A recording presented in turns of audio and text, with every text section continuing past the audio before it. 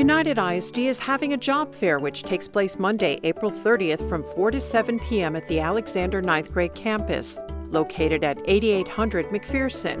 UISD is looking to hire teachers at all grade levels and in all subject areas.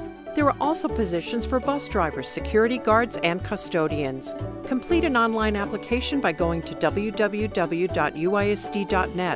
or visit the Human Resources Department at 301 Lindenwood Drive.